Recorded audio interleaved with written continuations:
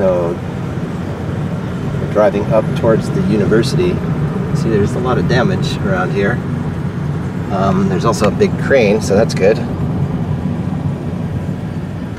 Were these dorms or there's I a know that the tractor university here. comes back in January.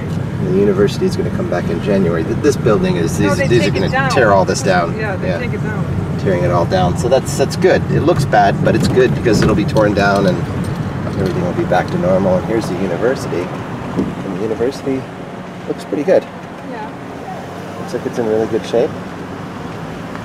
This is the area around the university.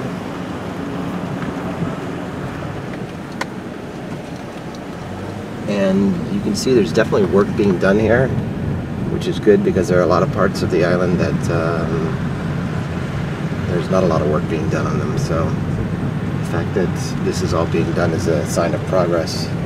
That's being rebuilt already. It looks like there's construction going on there right now. And this is the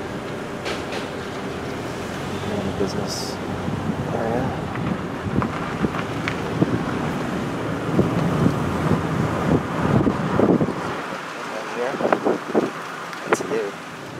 That's where Bamboo Bernie's used to be.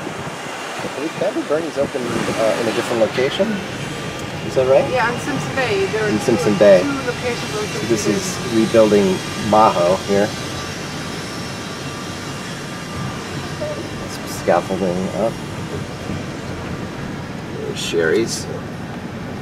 Looks like they can uh, maybe just throw an awning up there and be okay. But uh, definitely looks a lot better than it looked after the storm. Looks like Three Amigos may be open. There's Yeah. life there. Mm-hmm. Yes, they are open. The bar, the bar. used the hotel, which of course is not going to be open for a very long time.